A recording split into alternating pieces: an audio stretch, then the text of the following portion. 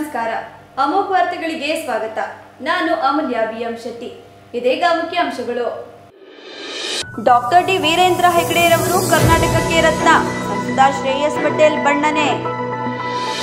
ಸಭೆಗೆ ಒಂದು ಗೌರವ ಬೇಡ್ವಾ ತಾಲೂಕಿನ ಮೂರು ಹೋಬಳಿಗೂ ನೀವು ಒಬ್ಬರೇ ಕೆಲಸ ಮಾಡುತ್ತೀರಾ? ಮಿಕ್ಕ ಕಂದಾಯ ಇಲಾಖೆಯ ಅಧಿಕಾರಿಗಳು ಎಲ್ಲಿ? ತಹಸೀಲ್ದಾರ್ ಕೆಕೆ ಕೃಷ್ಣಮೂರ್ತಿ ವಿರುದ್ಧ ಸಂಸದ ಶ್ರೇಯಸ್ ಪಟೇಲ್ ಆಕ್ರೋಶ. ಮೂಲಸೌಕರ್ಯವಿಲ್ಲದೆ ಸರುಗುತ್ತಿರುವ ಬೇಲೂರು ತಾಲೂಕಿನ ಬಿಕ್ಕೋಡು ಹೋಬಳಿಯ ಕೋಡಿಹಳ್ಳಿ ಗ್ರಾಮ. ಮತ್ತು ರೈತರ ಭೂಮಿ ಉಳಿಸುವಂತೆ ಆಗ್ರಹಿಸಿ ರೈತ ಸಂಘದಿಂದ ಅರಣ್ಯ ಭವನದ ಎದುರು ರೈತರ ಪ್ರತಿಭಟನೆ ಸ್ಥಳದಲ್ಲೇ ಅಡುಗೆ ಮಾಡಿದ ರೈತರು. ವಾರ್ತೆಗಳ ವಿವರ. ಶ್ರೀ ಡಾಕ್ಟರ್ ಡಿ ವೀರೇಂದ್ರ ಹೆಗಡೆಯವರ ಮಾರ್ಗದರ್ಶನದಲ್ಲಿ ಶ್ರೀ ಕ್ಷೇತ್ರ, ಶ್ರೀ ಧರ್ಮಸ್ಥಳ ಗ್ರಾಮಾಭಿವೃದ್ಧಿ ಯೋಜನೆ ಟ್ರಸ್ಟ್ ವತಿಯಿಂದ ಸಮಾಜದಲ್ಲಿ ಕಟ್ಟಕಡೆಯ ವ್ಯಕ್ತಿಗೂ ಯೋಜನೆಯ ಫಲ ಸಿಗುವ ಕೆಲಸವನ್ನು ಮಾಡುತ್ತಿರುವುದು ಶ್ಲಾಘನೀಯವಾಗಿದೆ ಎಂದು ಸಂಸದ ಶ್ರೇಯಸ್ ಎಂ ಪಟೇಲ್ ಅವರು ತಿಳಿಸಿದರು. ಗೋಮತಿ ಕಲ್ಯಾಣ ಮಂಟಪದಲ್ಲಿ ಶ್ರೀ ಕ್ಷೇತ್ರ, ಶ್ರೀ ಧರ್ಮಸ್ಥಳ ಗ್ರಾಮಾಭಿವೃದ್ಧಿ ಯೋಜನೆ ಬಿಸಿ ಟ್ರಸ್ಟ್ ಹಾಗೂ ಅಖಿಲ ಕರ್ನಾಟಕ ಜನಜಾಗೃತಿ ವೇದಿಕೆಯವರ ವತಿಯಿಂದ ಪರಮಪೂಜೆ ಡಾಕ್ಟರ್ ಡಿ ವೀರೇಂದ್ರ ಹೆಗಡೆಯವರ ಮತ್ತು ಮಾತಾಶ್ರೀ ಹೇಮಾವತಿ ವಿ ಹೆಗಡೆ ಆಶೀರ್ವಾದದಲ್ಲಿ ಹಮ್ಮಿಕೊಳ್ಳಲಾಗಿದ್ದ ಪ್ರಾದೇಶಿಕ ಮಟ್ಟದ ಜನಜಾಗೃತಿ ಪದಾಧಿಕಾರಿಗಳ ಸಮ್ಮೇಳನ ಕಾರ್ಯಕ್ರಮದಲ್ಲಿ ಪಾಲ್ಗೊಂಡು ಮಾತನಾಡಿದ ಅವರು, ಮದ್ಯಪಾನದಿಂದ ಅದೆಷ್ಟು ಕುಟುಂಬಗಳು ಹಾಳಾಗಿದೆ. ಇದನ್ನರಿದ ಶ್ರೀ ಧರ್ಮಸ್ಥಳ ಗ್ರಾಮಾಭಿವೃದ್ಧಿ ಸಂಘವು ಅಂತಹವರನ್ನ ತಿದ್ದುವ ಕೆಲಸ ಮಾಡುತ್ತಿರುವುದಕ್ಕೆ ತುಂಬು ಹೃದಯದ ಧನ್ಯವಾದಗಳನ್ನು ಹೇಳುತ್ತೇನೆ. ಸಮಾಜದ ಕಟ್ಟಕಡೆಯ ವ್ಯಕ್ತಿಗೂ ಇದರ ಸದುಪಯೋಗ ಸಿಗುವ ಕೆಲಸ ಮಾಡುತ್ತಿದ್ದು, ಈ ಸಂಘವನ್ನು ಎಷ್ಟು ಹೊಗಳಿದರೂ ಸಾಲದು.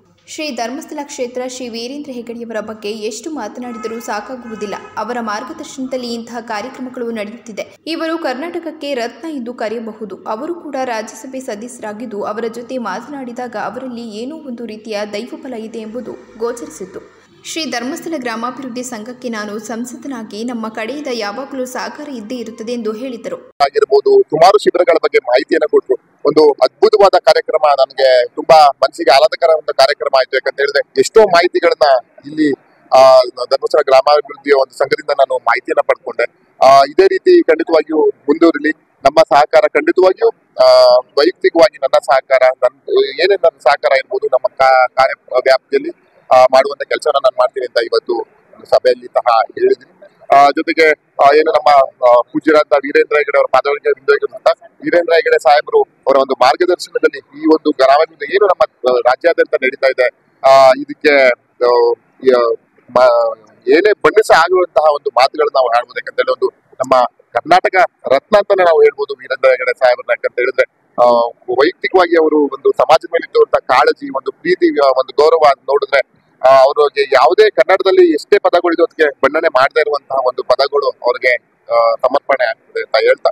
ಇವತ್ತು ಕರ್ಸಿ ಗೌರವಿಸಿ ಸನ್ಮಾನಿಸಿದ್ದಕ್ಕೆ ನಾನು ತುಂಬ ಹೃದಯದ ಅವ್ರಿಗೆ ಧನ್ಯವಾದಗಳನ್ನ ತಿಳಿಸಿದ್ದೀನಿ ಕಾರ್ಯಕ್ರಮದಲ್ಲಿ ಅಖಿಲ ಕರ್ನಾಟಕ ಜನಜಾಗೃತಿ ವೇದಿಕೆ ರಾಜ್ಯಾಧ್ಯಕ್ಷ ರಾಜಣ್ಣ ಮಾಜಿ ರಾಜ್ಯಾಧ್ಯಕ್ಷ ಸತೀಶ್ ಹೊನ್ನವಳ್ಳಿ ಜಿಲ್ಲಾಧ್ಯಕ್ಷ ಡಾಕ್ಟರ್ ನವೀನ್ ಚಂದ್ರಶೆಟ್ಟಿ ಮೈಸೂರು ವಿಭಾಗದ ನಿರ್ದೇಶಕ ಬಿ ಜೈರಾಮ್ ನೆಲ್ಲಿತ್ತಾಯ ವಿವೇಕ್ ವಿ. ಪಾಯಸ್, ಮೈಸೂರು ಜಿಲ್ಲೆಯ ಅಧ್ಯಕ್ಷ ಕೆಎನ್ ಪ್ರಭುಸ್ವಾಮಿ ಚನ್ನರಾಯಪಟ್ಟಣದ ಅಧ್ಯಕ್ಷೆ ಕೆಎಂ ಜೈರಾಮ್ ಮಂಡ್ಯ ಜಿಲ್ಲಾಧ್ಯಕ್ಷ ಹನುಮಂತಯ್ಯ ಕೊಣನೂರು, ಚಾಮರಾಜನಗರ ಜಿಲ್ಲೆ ಎಂಎಸ್ ರವಿಶಂಕರ್, ರಾಮನಗರ ಜಿಲ್ಲೆ ಅಧ್ಯಕ್ಷ H S Harish, KR Nagar ಅಧ್ಯಕ್ಷ ಎಚ್ ಎಸ್ ಸೋಮಶೇಖರ್ ಉಪಸ್ಥಿತರಿದ್ದರು.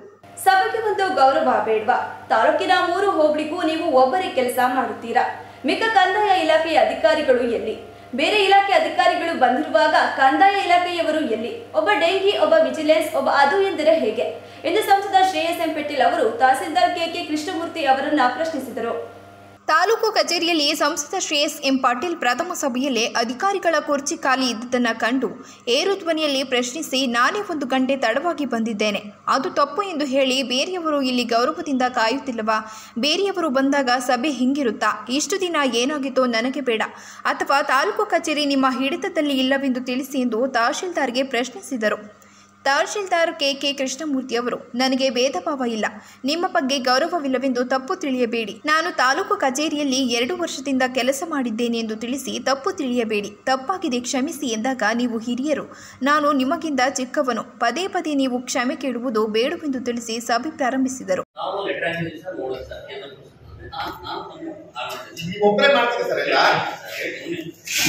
ಹನ್ನೆರಡು ಗಂಟೆಗೆ ಇಲ್ಲಿ ಹೇಳಿದೆ ಆ, ಎರಡು ಗಂಟೆ ಹೇಳಿದೆ ನಾವು ಹಾಕೊಂಡೆ ಆಯ್ತು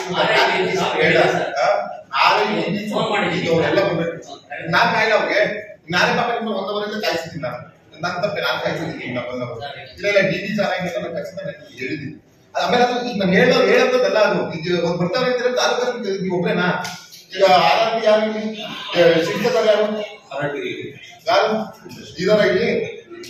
ಈಗ ಯಾರು? ಒಬ್ರು ಒಬ್ರು ವಿಜಿಲೆನ್ಸ್ ಒಬ್ರು ಗದು ಬೇರೆಯವ್ರು ಬಂದ್ರೆ ಇಷ್ಟು ದಿವಸ ನೋಡಿ ಸರ್ ಇಷ್ಟು ದಿವಸ ಏನ್ ಅಂತ ನನಗೆ ಗೊತ್ತಿಲ್ಲ.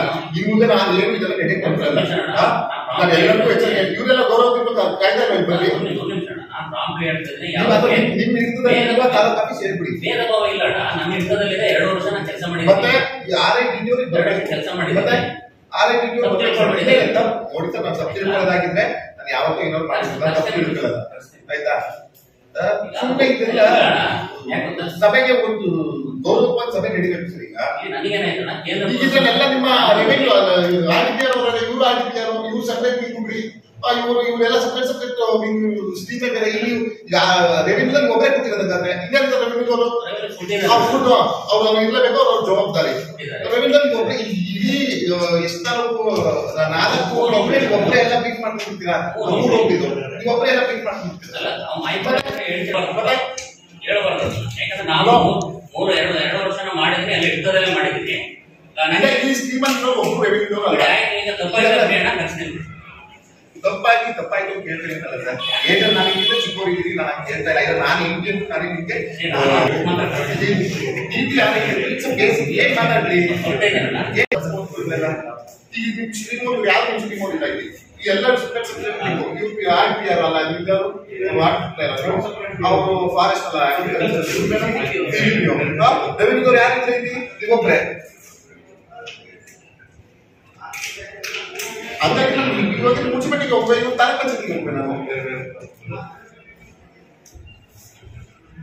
ಬಿಕ್ಕೋಡು ಹೋಬಳಿಯ ಕೋಡಿಹಳ್ಳಿ ಗ್ರಾಮವು ಮೂಲಭೂತ ಸೌಕರ್ಯವಿಲ್ಲದೆ ಸರುಗಿದ್ದು, ಯಾವುದೇ ಅಭಿವೃದ್ಧಿ ಕೆಲಸಗಳು ಇಲ್ಲಿ ಆಗದೇ ಇರುವುದು ಶೋಚನೀಯ. ಸರಿಯಾದ ರಸ್ತೆ ಸಂಪರ್ಕ ಇಲ್ಲದೆ ಗ್ರಾಮಸ್ಥರ ಸಾಕಷ್ಟು ದೋಣಿ ಹೋಗಿರುವ ಕೋಡಿಹಳ್ಳಿ ಗ್ರಾಮದ ಜನರು ಅಧಿಕಾರಿಗಳ ವಿರುದ್ಧ ಪ್ರತಿಭಟನೆ ನಡೆಸಿದರು. ಈ ಸಂದರ್ಭದಲ್ಲಿ ಗ್ರಾಮಸ್ಥರು ಮಾತನಾಡಿ, ನಮ್ಮ ಗ್ರಾಮವು ಅಭಿವೃದ್ಧಿಯಲ್ಲಿ ಬಹಳಷ್ಟು ಹಿಂದುಳಿದಿದೆ. ಮಳೆಗಾಲದಲ್ಲಿ ರಸ್ತೆ ಪರಿಸ್ಥಿತಿಯಂತೂ ಹೇಳುತ್ತಿರದಾಗಿದೆ ವಿದ್ಯಾರ್ಥಿಗಳು ಶಾಲೆಗೆ ಹೋಗಲು ಸಾಕಷ್ಟು ತೊಂದರೆಯಾಗುತ್ತಿದ್ದು, ಅಲ್ಲಲ್ಲಿ ಕೆಸರು ತುಂಬಿದ ಗುಂಡಿಗಳಾಗಿವೆ. ಯಾವುದೇ ವಾಹನಗಳು ತಿರುಗಾಡಲು ಹರಸಾಹಸ ಪಡುವಂತಾಗಿದ್ದು, ರಸ್ತೆಯು ಕೂಡ ಕಿರಿದಾಗಿದ್ದು, ನಮ್ಮ ಊರಿಗೆ ಯಾವುದೇ ಆಟೋಗಳು ಕೂಡ ರಸ್ತೆ ಸರಿಯಿಲ್ಲವೆಂದು ಬರಲು ಚಾಲಕರು ಹಿಂದಿಟ್ಟು ಹಾಕುತ್ತಿದ್ದಾರೆ. ಕೂಡಲೇ ಸಂಬಂಧಪಟ್ಟ ಅಧಿಕಾರಿಗಳು ಇದರ ಬಗ್ಗೆ ಗಮನ ಹರಿಸಬೇಕು. ಇಲ್ಲದಿದ್ದರೆ ಗ್ರಾಮ ಪಂಚಾಯಿತಿ ಹಾಗೂ ತಾಲೂಕು ಪಂಚಾಯಿತಿ ಕಚೇರಿ ಮುಂಭಾಗ ಗ್ರಾಮಸ್ಥರೆಲ್ಲರೂ ಸೇರಿ ಪ್ರತಿಭಟಿಸುವುದಾಗಿ ಎಚ್ಚರಿಕೆ ನೀಡಿದರು. ಅಂತ ಈ ನಲ್ವತ್ತು ವರ್ಷದಿಂದ ಇದೇ ರೋಡಲ್ಲಿ ನಾವು ಓಡಾಡೋದಾಗಿದೆ ಇದೇ ರೋಡು ಅಂದರೆ ನಾವು ಸ್ಕೂಲ್ ಮಕ್ಕಳು ನಾವು ಸ್ಕೂಲಿಗೆ ಹೋಗ್ಬೇಕಾದ್ರೆ ನಾವು ಇವ್ರಂಗಿದ್ದಾಗ ಹಿಂಗೆ ಓಡಾಡ್ತಿದ್ವಲ್ಲ, ಈಗಲೂ ಅದೇ ಪರಿಸ್ಥಿತಿ ಐತೆ. ಎಲ್ಲ ರೋಡು, ಸಿಮೆಂಟು ಟಾಂಬರಿಂದ ಆಗಿದ್ದಾವೆ ನಮ್ಮ ರೋಡಿಗೆ ಮಾತ್ರ ಬರೀ ಮಣ್ಣೆ. ಈ ಅನುದಾನನೂ ಇಲ್ಲ ಯಾವ ಗೌರ್ಮೆಂಟರು ಶಾಸಕರು ಏನು ಬಂದು ಏನು ಮಾಡ್ತಾ ಇಲ್ಲ. ದಯವಿಟ್ಟು ಒಂದು ಸ್ವಲ್ಪ ಗಮನ ಹರಿಸಿ. ಮಕ್ಕಳ ಪರಿಸ್ಥಿತಿ ಹಿಂಗ ಆಯ್ತೆ ಏನ್ ಮಾಡೋದು? ಮಕ್ಕಳು ಸ್ಕೂಲ್ ನೋಡಿ ಹೆಂಗಾಯ್ತು ಭಾರಿ ಕಷ್ಟ ಇದೆ ಇದೊಂದು ಅನುದಾನ ಮಾಡಿ ಇದು ಪಿಡಿಒಗಳಿಗೆ ಎಲ್ಲರಿಗೂ ನಾವು ಹೇಳಿದ್ರು ಇನ್ನೂ ಅನುದಾನ ಬಂದಿಲ್ಲ ಏನಾದ್ರು ಒಂದ್ ಹೇಳ್ತಾರೆ. ಒಟ್ಟು ಹಿಂಗೇ ತಳ್ತಾ ಇದೀವಿ. ಯಾವಾಗ ನಮಗೆ ಇದೊಂದು ದುರಸ್ತಿ ಮಾಡ್ಕೊಟ್ಟು ನಮಗೊಂದು ರೋಡ್ ಮಾಡ್ಕೊಡ್ತೀರಾ ಗೊತ್ತಿಲ್ಲ. ಇದೊಂದು ಸರ್ಕಾರಕ್ಕೆ ಮುಟ್ಲಿ ನಮಗೆ ಸಿದ್ದರಾಮಯ್ಯ ಇದಾರಲ್ಲ ಅವರಿಗೆ ಹೋಗ್ಲಿ ಅಂತ ನಾವೊಂದು ಹೋಗ್ಲಿ ಮತ್ತೆ ಇವ್ರಿಗೂ ಹೋಗ್ಲಿ ನಮಗೇನು ನಮಗೆ ರೋಡ್ ಮಕ್ಕಳು ಸ್ಕೂಲ್ ಹೋಗಕ್ಕಾಗಲ್ಲ. ಈ ಸಂದರ್ಭದಲ್ಲಿ ಗ್ರಾಮಸ್ಥರಾದ ಚಂದನ್ ಪುಟ್ಟರಾಜು ಲಕ್ಷ್ಮಣ್ ಕಾರ್ತಿಕ್ ದರ್ಶನ್ ಶಿವಂ ಶೋಭಾ ಪವಿತ್ರ ಹೇಮಾ ದೇವಿರಮ್ಮ ಲೋಲಾಕ್ಷಿ ಸುಶೀಲಾ ಹಾಜರಿದ್ದರು. ರೈತರ ಭೂಮಿಯನ್ನು ಅರಣ್ಯ ಇಲಾಖೆಯವರು ನಮ್ಮ ಭೂಮಿ ಎಂದು ಒಕ್ಕಲೆಬ್ಬಿಸುವ ಕೆಲಸ ಮಾಡಲಾಗುತ್ತಿದ್ದು, ಅರಣ್ಯ ಮಂತ್ರಿಗಳು ಇತ್ತ ಕಡೆ ಗಮನ ಕೊಟ್ಟು ರೈತರ ಭೂಮಿ ಉಳಿಸುವ ಕೆಲಸ ಮಾಡಬೇಕೆಂದು ಜಿಲ್ಲಾ ಅರಣ್ಯ ಭವನದ ಮುಂದೆ ನೂರಾರು ಜನ ರೈತರು ಪ್ರತಿಭಟಿಸಿದಲ್ಲದೆ ಸ್ಥಳದಲ್ಲಿ ಅಡುಗೆ ಮಾಡಿ ಆಕ್ರೋಶ ವ್ಯಕ್ತಪಡಿಸಿದರು. ಈ ಸಂದರ್ಭದಲ್ಲಿ ರೈತ ಸಂಘದ ರಾಜ್ಯ ಉಪಾಧ್ಯಕ್ಷ ರವಿ, ಆನಿಕೆರೆ ರವಿ ಅಮೋಗ್ ವಾಹಿನಿಯೊಂದಿಗೆ ಮಾತನಾಡಿ, ಅರಸಿಕೆರೆ ತಾಲೂಕಿನ ಜಾವಕಲ್ ಹೋಬಳಿ ನೀಲಗಿರಿ ಕಾವಲ್ ಎಂಬ ನಾಲ್ಕು ಸಾವಿರದ ನಾನೂರ ಎಂಬತ್ತಾರು ಎಕರೆ ಜಮೀನನ್ನು ನೂರಾರು ವರ್ಷದಿಂದ ಸಾಗುವಳಿ ಮಾಡಿಕೊಂಡು ಬರಲಾಗುತ್ತಿದೆ. ನಮ್ಮಗಳಿಗೆ ಸರ್ಕಾರದಿಂದ ಸಾವಿರದ ಒಂಬೈನೂರ ಅರವತ್ತೆರಡು ಅರವತ್ತ್ಮೂರು ಅರವತ್ತ್ನಾಲ್ಕರಂದು ಮಂಜೂರಾತಿ ಮಾತ್ರ ಕೊಟ್ಟಿದ್ದಾರೆ.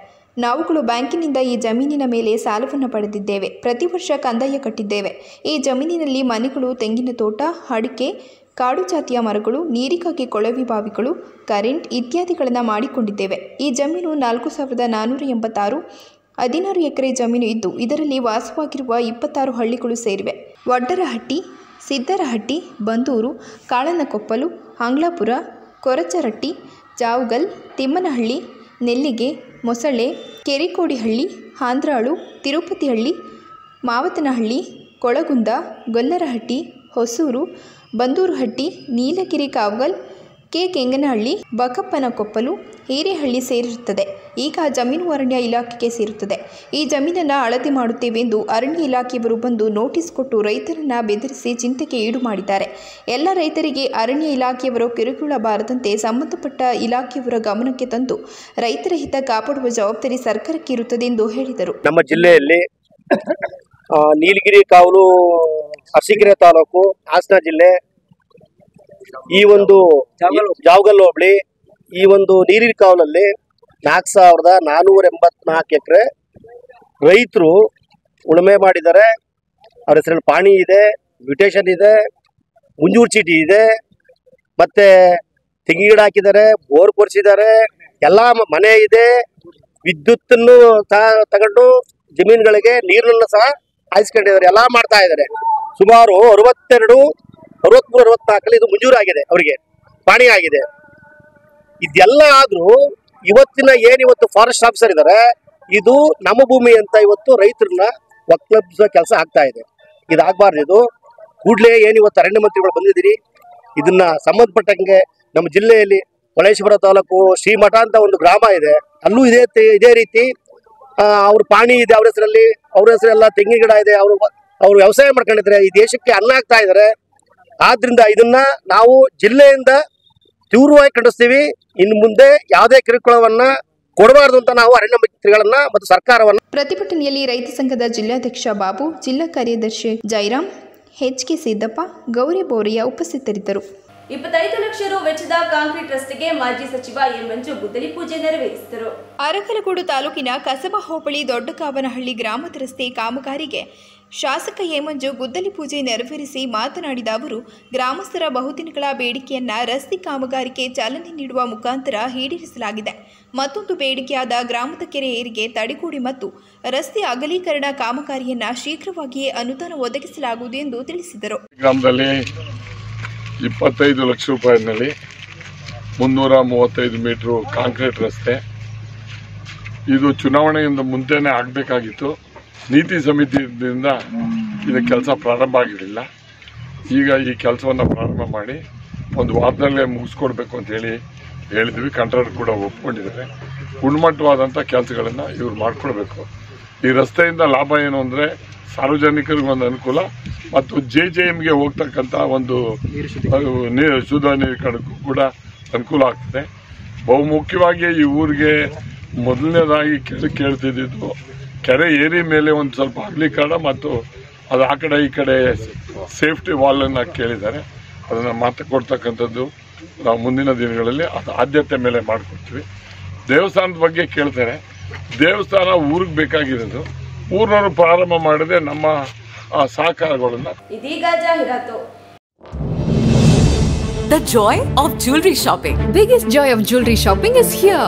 ಜಾಯ್ ಅಲ್ಕಾಸ್ ಅರ್ಪಿಸುತ್ತಿದೆ ವರ್ಷದ ಅತಿ ದೊಡ್ಡ ಆಭರಣಗಳ ಹಬ್ಬ ಎಲ್ಲ ಆಭರಣಗಳ ಮೇಕಿಂಗ್ ಚಾರ್ಜಸ್ನಲ್ಲಿ ಐವತ್ತು ಶೇಕಡ ಕಡಿತ ಬಂಗಾರ ವಜ್ರ ಪೋಲ್ಕಿ ಬ್ರಷ್ ಸ್ಟೋನ್ಸ್ ಮತ್ತು ಬೆಳ್ಳಿಯಲ್ಲಿ ಅತಿ ದೊಡ್ಡ ಹಾಗೂ ಅತ್ಯುತ್ತಮ ಆಯ್ಕೆ ಪಡೆಯಿರಿ ಇದು ಆಭರಣಗಳ ಶಾಪಿಂಗ್ನಲ್ಲಿ ನಿಜವಾದ ಜಾಯ್ ಈ ಕೊಡುಗೆ ವಿಶೇಷವಾಗಿ ಜಾಯ್ ಅಲುಕಾಸ್ನ ಶೋರೂಮ್ಗಳಲ್ಲಿ ಮಾತ್ರ Joy Alucas, world's favorite jeweler. Rathnam silks ಹಾಸನದ ಜನಮನ ಗೆದ್ದಿರುವ ನಂಬರ್ ಒನ್ ರೇಷ್ಮೆ ಹಾಗೂ ಫ್ಯಾನ್ಸಿ ಸೀರೆಗಳ ಎಕ್ಸ್ಕ್ಲೂಸಿವ್ ಶೋರೂಮ್. ನಮ್ಮಲ್ಲಿ ಮಹಿಳೆಯರ ಮನಸೂರೆಗೊಳ್ಳುವ Kanchipuram silk sarees, Mysuru silks, pure Banaras silks, fancy ಹಾಗೂ cotton sarees, KSIC grade crepe silk, suiting and shirting, ಇನ್ನು ಹಲವಾರು ಬಗೆಯ ಸೀರೆಗಳು ನಿಮ್ಮ ಕೈಗೆಟುಕುವ ದರದಲ್ಲಿ ದೊರೆಯುತ್ತವೆ. ವರ್ಷದ ಮುನ್ನೂರ ಅರವತ್ತೈದು ದಿನಗಳಲ್ಲೂ ಹೋಲ್ಸೇಲ್ ದರದಲ್ಲಿ ಮಾರಾಟ. ಗ್ರಾಹಕರಿಗೆ ಪಾರ್ಕಿಂಗ್ ಹಾಗೂ ಶೌಚಾಲಯದ ವ್ಯವಸ್ಥೆಯೂ ಲಭ್ಯ. ಭೇಟಿ ಕೊಡಿ Rathnam silks. Opposite to Rangalakshmi hospital next to NCC office RC road Hassan. Phone number nine one six four two one zero six double nine ಹಾಗೂ zero eight one seven two two nine six three double nine It's raining offers at Kalyan Jewelers. Enjoy flat 50% off on making charges on all products. Conditions apply. Gomathi Kalyana Mantapa ಹನ್ನೆರಡು ವಸಂತಗಳನ್ನ ಪೂರೈಸಿ ಹದಿಮೂರನೇ ವರ್ಷಕ್ಕೆ ಪಾದಾರ್ಪಣೆ ಮಾಡುತ್ತಿರುವ ಗೋಮತಿ ಕಲ್ಯಾಣ ಮಂಟಪವನ್ನ ಹೊಚ್ಚ ಹೊಸ ರೂಪದಲ್ಲಿ ನಿಮ್ಮ ಮುಂದೆ ಪ್ರಸ್ತುತಪಡಿಸುತ್ತಿದ್ದೇವೆ ಅತ್ಯಾಧುನಿಕವಾಗಿ ನವೀಕರಣಗೊಂಡ ಕಲ್ಯಾಣ ಮಂಟಪದಲ್ಲಿ ಸಾವಿರದ ಇನ್ನೂರು ಜನರು ಪಾಲ್ಗೊಳ್ಳಬಹುದಾದ ಬ್ಯಾಂಕ್ವೆಟ್ ಹಾಲ್, ಏಳ್ನೂರು ಜನರು ಊಟ ಮಾಡಬಹುದಾದ ಡೈನಿಂಗ್ ಹಾಲ್ ಇತ್ತು ಮದುವೆ, ಬೀಗರ ಔತಣ, ನಾಮಕರಣ ಮತ್ತು ಎಲ್ಲ ಶುಭ ಸಮಾರಂಭಗಳಿಗೆ ಸಸ್ಯಾಹಾರಿ ಮತ್ತು ಮಾಂಸಾಹಾರಿ ಔತಣಗಳಿಗೆ ಹಾಲ್ ಅನ್ನ ನೀಡಲಾಗುತ್ತದೆ. ನಾಲ್ಕು ಎಕರೆಗೂ ಅಧಿಕ ಜಾಗದಲ್ಲಿ ವಾಹನಗಳಿಗೆ ಉತ್ತಮವಾದ ಪಾರ್ಕಿಂಗ್ ವ್ಯವಸ್ಥೆ ಸಹ ಲಭ್ಯವಿದೆ. ನಿಮ್ಮ ಕುಟುಂಬದ ಸುಂದರ ಕಾರ್ಯಕ್ರಮಗಳನ್ನು ಅತ್ಯುತ್ತಮ ಕ್ಷಣಗಳನ್ನಾಗಿ ಮಾರ್ಪಾಡಾಗಿಸಲು ಒಂದು ಒಳ್ಳೆಯ ಜಾಗ ಅದುವೇ ನಮ್ಮ ಗೋಮತಿ ಕಲ್ಯಾಣ ಮಂಟಪ. ಗೋಮತಿ ಕಲ್ಯಾಣ ಮಂಟಪ. ಕೋಟ್ ಹೊಸ ಬಸ್ ನಿಲ್ದಾಣದ ಹತ್ತಿರ ಚನ್ನಪಟ್ಟಣ ಬಡಾವಣೆ ಹೊಳೆನರಸೀಪುರ ರಸ್ತೆ, ಹಾಸನ. ಬುಕಿಂಗ್ ಹಾಗೂ ಹೆಚ್ಚಿನ ಮಾಹಿತಿಗಾಗಿ ಸಂಪರ್ಕಿಸಿ nine double four eight four two seven two six one, eight nine seven zero five six eight triple six. Bhima Brilliance Diamond Jewelry Festival till 31st July. Get assured cashback of rupees 7000 per carat and enjoy flat rupees 500 off per gram on gold in diamond jewelry. Available at all Bhima Jewelers showrooms. TNC apply. Academy ನನ್ನ ಹೆಸರು Srinivas Reddy D S academy chairman K R Puram Bengaluru physics faculty thirty years experience eighty percent of students are getting medical studies from my academy it is possible with experience faculty first PUC ಹಾಗೂ NEET long term ಕೋರ್ಸ್ಗಳಿಗೆ ದಾಖಲಾತಿಗಳು ಪ್ರಾರಂಭವಾಗಿದೆ ಸಂಪರ್ಕಿಸಿ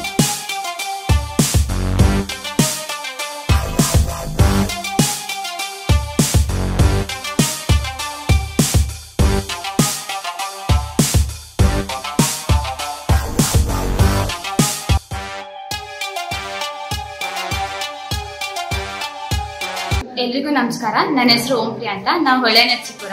ನಾನು ಈ ಸತಿ NEET ಕೋಚಿಂಗ್ನ D S R academy ಬೆಂಗಳೂರಲ್ಲಿ ತಗೊಂಡೆ. As expected six thirty marks ಈ ಸತಿ ಬಂದಿದೆ. In D S R academy ಬಗ್ಗೆ ಹೇಳಬೇಕು ಅಂದ್ರೆ ತುಂಬಾ ಚೆನ್ನಾಗಿದೆ. ಫ್ಯಾಕಲ್ಟೀಸ್ ಎಲ್ಲ ತುಂಬಾ experienced my name is Gautami Reddy I I'm from Mumbagal I I'm a year student student, medical student. I was searching for a good ins- institution and at that time I got in uh, DSR Medical Academy. My name is Monica Reddy. I scored this year 600 marks. Sir took utmost care in physics. Physics was a subject which everyone would like.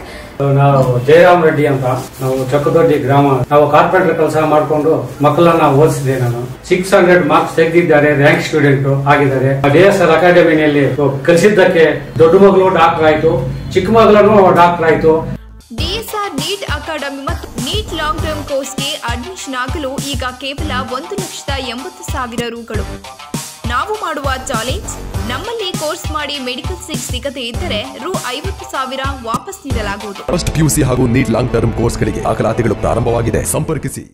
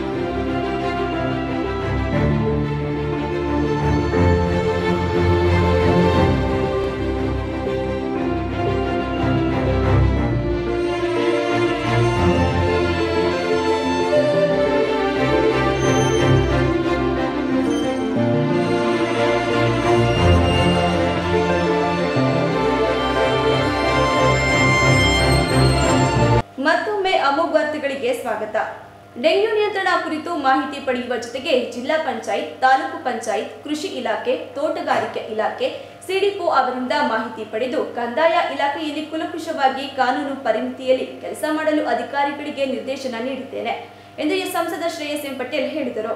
ನಂತರ ಮಾತನಾಡಿದ ಅವರು, ತಾಲೂಕಿನಲ್ಲಿ dengue ಕಾಯಿಲೆಯಿಂದ ಮೃತಪಟ್ಟವರ ಸಂಖ್ಯೆ ಹೆಚ್ಚಿರುವ ಕಾರಣದಿಂದ ಅಧಿಕಾರಿಗಳ ಸಭೆ ಕರೆದು ಡೆಂಗಿ ನಿಯಂತ್ರಣ ಕುರಿತು ಮಾಹಿತಿ ಪಡೆಯುವ ಜೊತೆಗೆ ಜಿಲ್ಲಾ ಪಂಚಾಯತ್, ತಾಲೂಕು ಪಂಚಾಯತ್, ಕೃಷಿ ಇಲಾಖೆ, ತೋಟಗಾರಿಕಾ ಇಲಾಖೆ ಸಿಡಿಪಿಒ ಅವರಿಂದ ಮಾಹಿತಿ ಪಡೆದು ಕಂದಾಯ ಇಲಾಖೆಯಲ್ಲಿ ಕೂಲಂಕುಷವಾಗಿ ಕಾನೂನು ಪರಿಮಿತಿಯಲ್ಲಿ ಕೆಲಸ ಮಾಡಲು ಅಧಿಕಾರಿಗಳಿಗೆ ನಿರ್ದೇಶನ ನೀಡಿದ್ದೇನೆ ಹಾಗೂ ಸರ್ಕಾರದ ಯೋಜನೆಗಳನ್ನು ಬಡವರಿಗೆ ಹಾಗೂ ಫಲಾನುಭವಿಗಳಿಗೆ ಒದಗಿಸಿ ಎಂದು ತಿಳಿಸಿದ್ದೇವೆ. ತಾಲೂಕಿನಲ್ಲಿ ಉತ್ತಮ ಅಧಿಕಾರಿಗಳು ಇದ್ದು ಅಧಿಕಾರಿಗಳ ಒತ್ತಡ ಅಥವಾ ಸಮಸ್ಯೆ ಕುರಿತು ಹೇಳಿದಲ್ಲಿ ಮುಂದೆ ನೋಡೋಣ ಎಂದು ಹೇಳಿದರು.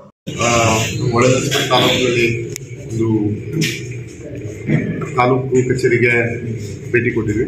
ಅದರಲ್ಲಿ ಈಗ ನಾವು ಮೊದಲೇ ಚರ್ಚೆ ಆಗಿದ್ದು ಏನು ಡೆಂಗ್ಯೂ, ಅದು ನಮ್ಮ ಹೊಳೆನಸ್ಪುರ ತಾಲೂಕಲ್ಲಿ ಅತಿ ಹೆಚ್ಚು ಡೆಂಗ್ಯೂ ಪ್ರಕರಣಗಳು ಮೃತಪಟ್ಟಿರೋ ಸಹ ಹೊಳೆನಸ್ಪುರ ತಾಲೂಕಲ್ಲಿ ಆಗಿರೋದ್ರಿಂದ ಎಲ್ಲ ನಮ್ಮ ಅಧಿಕಾರಿಗಳ ಸಭೆಯನ್ನು ಕಟ್ಟಿ, ನಮ್ಮ ಮಾನ್ಯ ತಹಶೀಲ್ದಾರ್ ಅವರು, ನಮ್ಮ ಇ ಅವರು ನಮ್ಮ ಪುರಸಭೆ ಚೀಫ್ ಆಫೀಸರು ಎಲ್ಲ ವಿವಿಧ ಇಲಾಖೆಯ, ಏನು ಡೆಂಗ್ಯೂಗೆ ಸಂಬಂಧಪಟ್ಟಂಥ ಇಲಾಖೆಗಳ ಇಂಟರ್ಲಿ ಲಿಂಕ್ ಇಲಾಖೆ ಇದ್ದು ಕರೆದು ಇವತ್ತು ಡೆಂಗ್ಯೂನ ಹೇಗೆ ನಾವು ಕಂಟ್ರೋಲ್ ಮಾಡಬೇಕು ಏನು ಮಾಡಿದ್ದೀನಿ ಅನ್ನೋದು ಒಂದು ಮಾಹಿತಿ ತಗೊಂಡಿದ್ದೀವಿ. ಅದನ್ನು ಬಿಟ್ಟರೆ ಈ ನಮ್ಮ ವಾ ಕುಡಿಯೋ ನೀರಿನ ಯೋಜನೆಗಳಲ್ಲಿ ಜೆ ಜೆ ಎಂ ಬಗ್ಗೆ ಸ್ವಲ್ಪ ಏನೇನು ಏನೇನಾಗಿದೆ ಅನ್ನೋದನ್ನ ನಾವು ಮಾಹಿತಿ ತಗೊಂಡಿದ್ದೀವಿ. ಕೃಷಿ ಇಲಾಖೆಯಲ್ಲಿ ಮಳೆ ಕೊರತೆ ಮತ್ತು ಬಿತ್ತನೆ ಬೀಜದ ಬಗ್ಗೆ ಗೊಬ್ಬರದ ಬಗ್ಗೆ ಮಾಹಿತಿಯನ್ನು ಕೊಟ್ಟಿದ್ದಾರೆ. ಹಾರ್ಟಿಕಲ್ಚರ್ ಡಿಪಾರ್ಟ್ಮೆಂಟಲ್ಲಿ ತೋಟಗಾರಿಕೆ ಕೆಲಸ ಅದೇ ರೀತಿ ಮಾಡಿದ್ರು. ಇನ್ನು ರೆವೆನ್ಯೂ ಇಲಾಖೆ ಸಂಬಂಧಪಟ್ಟವಾಗಿ ಆ, ಕೂಲಂಕುಷವಾಗಿ ಏನು ಸಾರ್ವಜನಿಕರಿಗೆ ತೊಂದರೆ ಆಗಿರೋ ರೀತಿಯಲ್ಲಿ ಕೆಲಸ ಮಾಡಿ ಅಂತ ನಾವು ಕಾನೂನು ಪರಿಮಿತಿ ಒಳಗಡೆ ಕೆಲಸ ಮಾಡಿ ಅಂತ ಇಡೀ ನಮ್ಮ ತಾಲೂಕಿನ ಅಧಿಕಾರಿಗಳಿಗೆ ನಾವು ನಿರ್ದೇಶನವನ್ನು ಕೊಟ್ಟಿದ್ದೀವಿ ಸೂಚನೆಯನ್ನು ಮಾಡಿದ್ವಿ ಏನು ಕಾನೂನು ಪರಿಮಿತಿ ಒಳಗೆ ಏನು ಕೆಲಸ ಮಾಡ್ಬೋದು ಅದನ್ನು ಸಾರ್ವಜನಿಕರಿಗೆ, ಬಡವರಿಗೆ, ಅರ್ಹ ಫಲಾನುಭವಿಗಳಿಗೆ ತಲುಪಿಸಿ ಅಂತ ನಾನು ಹೇಳಿದ್ದೀನಿ. ಸಕಾರಾತ್ಮಕವಾಗಿ ಎಲ್ಲ ಅಧಿಕಾರಿಗಳು ಅದನ್ನು ಮಾಡ್ತಾ ಇದ್ದಾರೆ. ನಮ್ಮ ತಾಲೂಕಲ್ಲೂ ಸಹ ಒಳ್ಳೆ ಅಧಿಕಾರಿಗಳಿದ್ದಾರೆ. ಅದೇ ರೀತಿ ಯಾವುದೇ ಸಮಸ್ಯೆಗಳಿಲ್ಲ.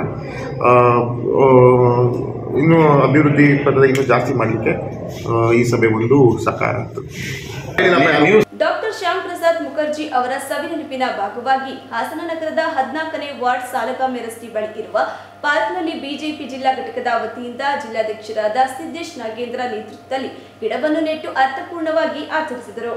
ನಂತರ ಸಿದ್ದೇಶ್ ನಾಗೇಂದ್ರ ಅವರು ಮಾಧ್ಯಮದೊಂದಿಗೆ ಮಾತನಾಡಿ, ದೇಶದ ಸೇವೆಗೆ ತನ್ನ ಜೀವವನ್ನೇ ಮುಡಿಪಾಗಿಟ್ಟ ಡಾಕ್ಟರ್ ಶ್ಯಾಮ್ ಪ್ರಸಾದ್ ಮುಖರ್ಜಿಯವರ ಸವಿನೆನಪಿನಲ್ಲಿ ಬಿಜೆಪಿಯಿಂದ ಬಲಿದಾನ ದಿನವೆಂದು ಆಚರಿಸುತ್ತಾ ಬರುತ್ತಿದ್ದು, ಈ ಸಂದರ್ಭದಲ್ಲಿ ಪಕ್ಷದ ಜಿಲ್ಲಾ ಘಟಕದಿಂದ ಎಲ್ಲ ತಾಲೂಕು ಘಟಕಗಳಲ್ಲಿ ಗಿಡ ನೆಡುವ ಕಾರ್ಯಕ್ರಮ ನಡೆಸಲಾಗುತ್ತಿದೆ. ಹದಿನಾಲ್ಕನೇ ವಾರ್ಡಿನ ಸದಸ್ಯರಾದ ವಿಕ್ರಮ್ ಅವರ ನೇತೃತ್ವದಲ್ಲಿ ಗಿಡ ನೆಡಲಾಗುತ್ತಿದೆ. ತಾಯಿ ನೆನಪಿನಲ್ಲಿ ಒಂದು ಗಿಡ ನೀಡುವಂತೆ ಪ್ರಧಾನಮಂತ್ರಿಗಳು ಕರೆ ನೀಡುವಂತೆ ಬಿಜೆಪಿ ಕಾರ್ಯಕರ್ತರು ಸಾಲಗಮಿ ರಸ್ತೆ ಬಳಿ ಇರುವ ಪಾರ್ಕ್ನಲ್ಲಿ ವಿವಿಧ ಬಗೆಯ ಗಿಡಗಳನ್ನು ನೀಡಲಾಗಿದೆ ಎಂದು ಹೇಳಿದರು. ಈ ದಿನ ಡಾಕ್ಟರ್ ಶ್ಯಾಮ್ ಪ್ರಸಾದ್ ಮುಖರ್ಜಿರವರ ಸವಿ ನೆನಪಿನಲ್ಲಿ ಏನ್ ಭಾರತೀಯ ಜನತಾ ಪಾರ್ಟಿಯಿಂದ ಬಲಿದಾನ ದಿನ ಎಂದು ಆಚರಿಸಲು ಬರ್ತಾ ಇದೆ. ಈ ಸಂದರ್ಭದಲ್ಲಿ ನಮ್ಮ ಜಿಲ್ಲಾ ಘಟಕದಿಂದ ಎಲ್ಲ ತಾಲೂಕು ಘಟಕಗಳಲ್ಲಿ ಹಾಗೆ ಒಂದು ಒಂದು ಬೌದ್ಧಿಕನ್ನು ಸಹ ಇವತ್ತು ರಾಘವೇಂದ್ರ ಕಲ್ಯಾಣ ಮಂಟಪದಲ್ಲಿ ಆಯೋಜಿಸಿಕೊಂಡು ಆ ಬೌದ್ಧಿಕನ್ನ ಮುಗಿಸ್ಕೊಂಡು ಇವತ್ತು ಒಂದು ಗಿಡ ನೆನಪು, ಗಿಡವನ್ನ ನೆಡುವಂತ ಒಂದು ಕಾರ್ಯಕ್ರಮದಲ್ಲಿ ಭಾಗಿಯಾಗಿದ್ದೇವೆ. ಈ ವಾರ್ಡಿನ ಸದಸ್ಯರಾದಂಥ ವಿಕ್ರಮ್ ಅವರ ನೇತೃತ್ವದಲ್ಲಿ ಈ ಒಂದು ಕಾರ್ಯಕ್ರಮ ಏರ್ಪಟ್ಟುಗೊಂಡಿತ್ತು. ಮಾನ್ಯ ಪ್ರಧಾನ ಮಂತ್ರಿಗಳು ಏಕ್ ಪೇಡ್ ಮಾಕೆ ನಾಂಪೆ ನಾಮ್ಸೆ ಅಂತ ಹೇಳಿ ಒಂದು ಏನ್ ಯೋಜನೆಯನ್ನು ಹಾಕೊಂಡ್ರು. ಅಂದ್ರೆ ತಾಯಿಯ ನೆನಪಿನಲ್ಲಿ ಒಂದು ಗಿಡ ಅಂತ ಹೇಳಿ ಉಪಯುಕ್ತವಾದಂತ ಸಸಿಗಳನ್ನ ನೆಡುವಂಥದ್ದು ಸಾಂಕೇತಿಕವಾಗಿ ಮಾಡಿಲ್ಲ. ನೆಟ್ಟಂತ ಎಲ್ಲ ಗಿಡಗಳು ಮುಂದಿನ ದಿನ ಉತ್ತಮ ನೆರಳಿಗಾಗಿ, ಫಸಲಿಗಾಗಿ ನೆಟ್ಟಂತ ಗಿಡ ಆಗಿದೆ. ಹಾಗಾಗಿ ಈ ಒಂದು ಏನೇ ಕಾರ್ಯಕ್ರಮ ಮಾಡಲಿ, ಇನ್ನ ಗಿಡಗಳನ್ನ ಬೆಳೆಸೋವಂಥದ್ದು ಪ್ರಕೃತಿಯನ್ನ ಉಳಿಸ್ಕೊಳ್ಳೋವಂಥದ್ದು ಪ್ರಕೃತಿಯನ್ನ ಇನ್ನಷ್ಟು ನಾವು ಬೆಳೆಸೋಂಥ ಕಾರ್ಯಕ್ರಮದಲ್ಲಿ ನಾವೆಲ್ಲ ತೊಡಗಬೇಕು ಅಂತ ಹೇಳಿ ಭಾರತೀಯ ಜನತಾ ಪಾರ್ಟಿ ಜಿಲ್ಲಾ ಘಟಕದಿಂದ ಇವತ್ತು ಆಯೋಜನೆ ಮಾಡಿದೆ. ಈ ಸಂದರ್ಭದಲ್ಲಿ ಬಿಜೆಪಿ ಜಿಲ್ಲಾ ಪ್ರಧಾನ ಕಾರ್ಯದರ್ಶಿ ಅಮಿತ್ ಶೆಟ್ಟಿ, ಬಿಜೆಪಿ ನಗರಾಧ್ಯಕ್ಷ ಮಂಜಣ್ಣ ಗ್ರಾಮಾಂತರ ಅಧ್ಯಕ್ಷ ಯಶು, ಗಿರೀಶ್, ಅಲ್ಪಸಂಖ್ಯಾತ ಮೋರ್ಚಾ ಅಧ್ಯಕ್ಷ ಗಗನ್, ರಾಜ್ಯ ಯುವ ಮೋರ್ಚಾ ಉಪಾಧ್ಯಕ್ಷ ಹರ್ಷಿತ್, ಮಹಿಳಾ ಮೋರ್ಚಾ ಮಾಜಿ ಅಧ್ಯಕ್ಷೆ ರತ್ನ, ಸುಶೀಲಾ ಅಣ್ಣಪ್ಪ, ತಾಲೂಕು ಪಂಚಾಯಿತಿ ಮಾಜಿ ಅಧ್ಯಕ್ಷ ಶಿವಕುಮಾರ್, ಮಾಜಿ ಸದಸ್ಯ ಶಶಿಕುಮಾರ್, ಜಿಲ್ಲಾ ಉಪಾಧ್ಯಕ್ಷ ಅಡುಪಳ್ಳಿ ಪ್ರಕಾಶ್ ಉಪಸ್ಥಿತರಿದ್ದರು. ಇಡೀ ವಿಶ್ವದಲ್ಲಿ ಭಾರತದಲ್ಲಿ ಇರುವಂತಹ ಜ್ಞಾನ ಸಂಪತ್ತು ಬೇರೆಲ್ಲೂ ದೊರೆಯಲಾರದು. ನಿಮ್ಮ ಜೀವನದ ಮೌಲ್ಯವನ್ನು ಕಾಪಾಡಿಕೊಂಡು ವಿದ್ಯಾವಂತರಾಗುವ ಮೂಲಕ ಬದುಕನ್ನು ಕಟ್ಟಿಕೊಳ್ಳಬೇಕು ಎಂದು ದೊಡ್ಡ ಮಟ್ಟದ ಮಠಾಧೀಶ ಮಲ್ಲಿಕಾರ್ಜುನ ಸ್ವಾಮೀಜಿ ತಿಳಿಸಿದರು. ವಾರಿಯರ್ಸ್ ಅಕಾಡೆಮಿಯು ಆಯೋಜಿಸಿರುವ ಸ್ಪರ್ಧಾತ್ಮಕ ಪರೀಕ್ಷೆಗಳಿಗೆ ಉಚಿತ ತರಬೇತಿ ಕಾರ್ಯಕ್ರಮವನ್ನು ಉದ್ಘಾಟಿಸಿ ಮಾತನಾಡಿದ ಅವರು ವಿದ್ಯಾರ್ಥಿಗಳು ಬಿಡುವಿನ ಸಮಯದಲ್ಲೂ ಸಹ ಓದುವ ಕಡೆಗೆ ಗಮನ ಕೊಡುವುದನ್ನು ಕಲಿಯಬೇಕು. ಇಲ್ಲಿ ತರಬೇತಿ ಪಡೆದ ವಿದ್ಯಾರ್ಥಿಗಳು ರಾಜ್ಯ ಮತ್ತು ಕೇಂದ್ರ ಸರ್ಕಾರದ ಉದ್ಯೋಗಗಳನ್ನು ಪಡೆಯುವಂತಾಗಲಿ ಎಂದರು.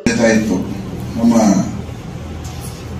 ಶಿವಣ್ಣ ಅವರ ಮಗ ಆರ್ಮಿಯಿಂದ ರಿಟೈರ್ಡ್ ಆಗಿ ಬಂದ್ಮೇಲೆ ಇಲ್ಲೇ ಮಕ್ಕಳಿಗೆ ಒಂದೇನಾದ್ರು ಸಾಧನೆ ಮಾಡಬೇಕು ಎನ್ನುವಂತಹದ್ದನ್ನೇ ಗುರಿಯಾಗಿಟ್ಕೊಂಡು ಹಲವಾರು ಚಿಂತನೆಗಳನ್ನು ಮಾಡಿ ಒಂದು ಪ್ರಯತ್ನವನ್ನ ಇದು ಮಾಡಿದ್ದಾರೆ.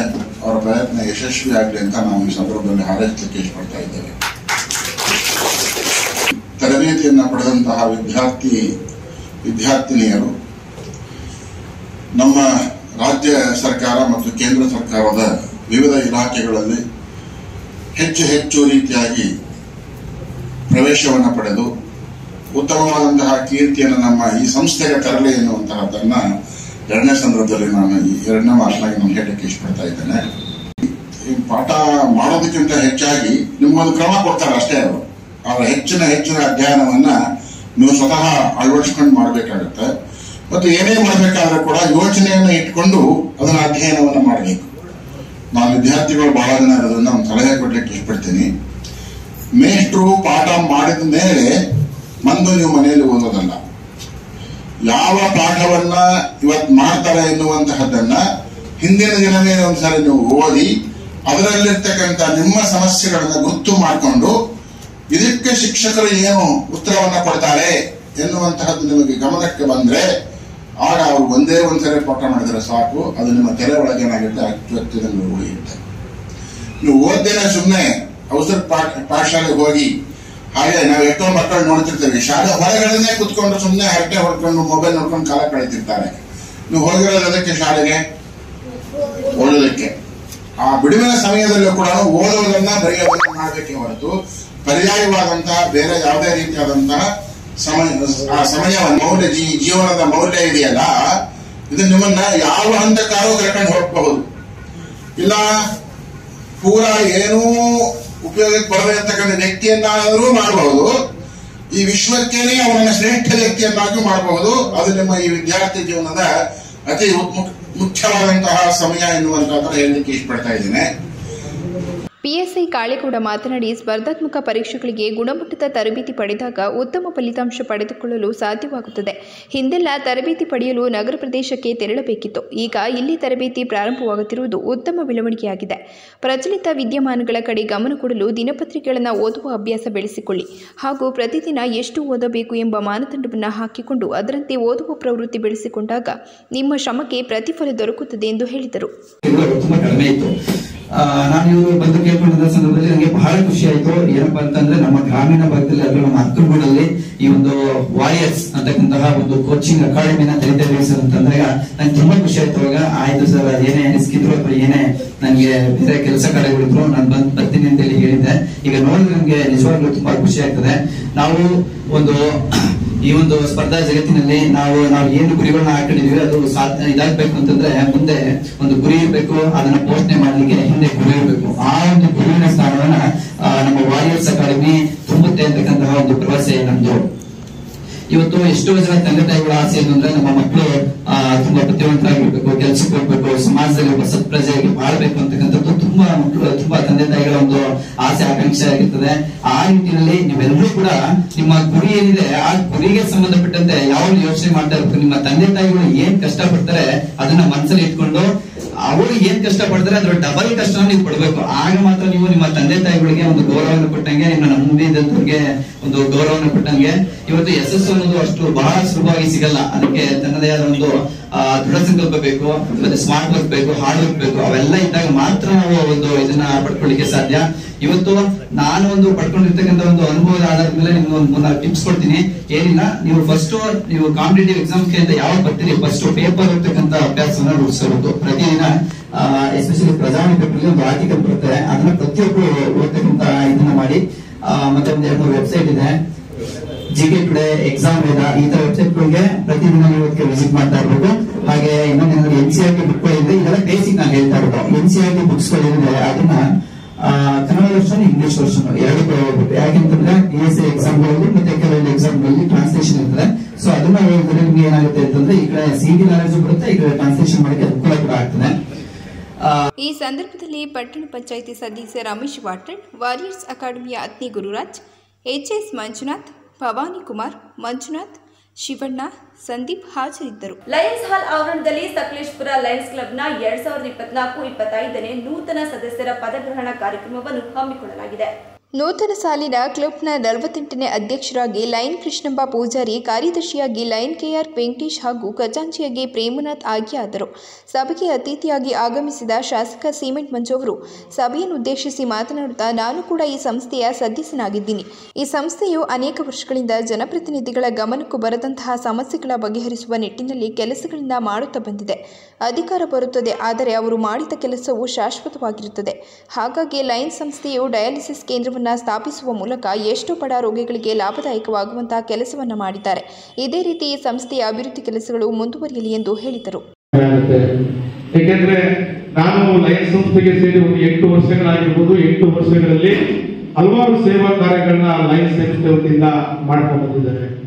ಏಕೆಂದ್ರೆ ನಿಜವಾಗ್ಲೂ ಕೂಡ ಇವತ್ತು ರೋಟರಿ ಕ್ಲಬ್ ಇರ್ಬೋದು ಲಯನ್ಸ್ ಕ್ಲಬ್ ಇರ್ಬೋದು ಹಲವಾರು ಸೇವಾ ಸಂಸ್ಥೆಗಳು ಒಬ್ಬ ಜನಪ್ರತಿನಿಧಿಗೆ ಗೊತ್ತಾಗ್ತಿರ್ತಕ್ಕಂಥ ವಿಚಾರವನ್ನ ಗುರುತಿಸಿ ಅವ್ರನ್ನ ಒಳ್ಳೆ ಕೆಲಸವನ್ನ ಮಾಡ್ತಕ್ಕಂಥ ಕೆಲಸ ಕಾರ್ಯಗಳನ್ನ ಮಾಡ್ತಾರೆ, ಹಲವಾರು ಸೇವಾ ಕಾರ್ಯಕ್ರಮಗಳನ್ನ ಮಾಡ್ತಾ ಬಂದಿದ್ದಾರೆ.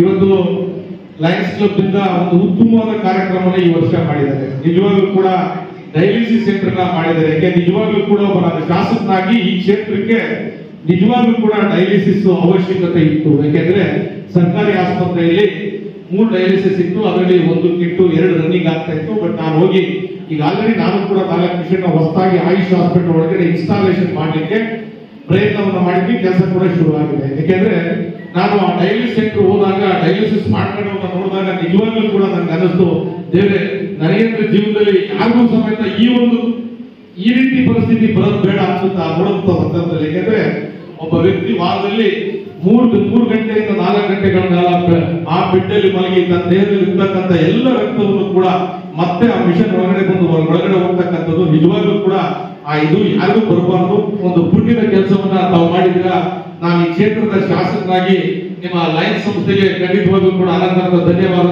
ಈ ಸಂದರ್ಭದಲ್ಲಿ ಕಾರ್ಯಕ್ರಮದ ಮುಖ್ಯ ಜಿಲ್ಲಾ ಮಾಜಿ ರಾಜ್ಯಪಾಲರಾದ ಲಯನ್ಸ್ ಸಂಜಿತ್ ಶೆಟ್ಟಿ ರಘುಪಾಳ್ಯ ವಿಠಲ್ ಪ್ರೇಮನಾಥ್ ಮೀನಾಕ್ಷಿ ಖಾದರ್ ನೂತನ ಕಾರ್ಯದರ್ಶಿ ವೆಂಕಟೇಶ್ ಬಸವರಾಜು ಸೇರಿದಂತೆ ಎಲ್ಲ ಸದಸ್ಯರು ಪದಾಧಿಕಾರಿಗಳು ಇದ್ದರು. ಕೊನೆಯಲ್ಲಿ ಮತ್ತೊಮ್ಮೆ ಮುಖ್ಯಾಂಶಗಳು. ಡಾಕ್ಟರ್ ಡಿ ವೀರೇಂದ್ರ ಹೆಗ್ಡೆರವರು ಕರ್ನಾಟಕಕ್ಕೆ ರತ್ನ. ಸಂಸದ ಶ್ರೇಯಸ್ ಪಟೇಲ್ ಬಣ್ಣನೆ. ಸಭೆಗೆ ಒಂದು ಗೌರವ ಬೇಡ್ವಾ. ತಾಲೂಕಿನ ಮೂರು ಹೋಬಳಿಗೂ ನೀವು ಒಬ್ಬರೇ ಕೆಲಸ ಮಾಡುತ್ತೀರಾ? ಕಂದಾಯ ಇಲಾಖೆಯ ಅಧಿಕಾರಿಗಳು ಎಲ್ಲಿ? ತಹಸೀಲ್ದಾರ್ ಕೆ ಕೆ ಕೃಷ್ಣಮೂರ್ತಿ ವಿರುದ್ಧ ಸಂಸದ ಶ್ರೇಯಸ್ ಪಟೇಲ್ ಆಕ್ರೋಶ. ಮೂಲಸೌಕರ್ಯವಿಲ್ಲದೆ ಸೊರಗುತ್ತಿರುವ ಬೇಲೂರು ತಾಲೂಕಿನ ಬಿಕ್ಕೋಡು ಹೋಬಳಿಯ ಕೋಡಿಹಳ್ಳಿ ಗ್ರಾಮ. ರೈತರ ಭೂಮಿ ಉಳಿಸುವಂತೆ ಆಗ್ರಹಿಸಿ ರೈತ ಸಂಘದಿಂದ ಅರಣ್ಯ ಭವನದ ಎದುರು ರೈತರ ಪ್ರತಿಭಟನೆ ಸ್ಥಳದಲ್ಲೇ ಅಡುಗೆ ಮಾಡಿದ ರೈತರು. ಮುಂದಿನ ವಾರ್ತಾ ಸಂಚಿಕೆಯೊಂದಿಗೆ ಮತ್ತೆ ಭೇಟಿಯಾಗೋಣ. ವಂದನೆಗಳು.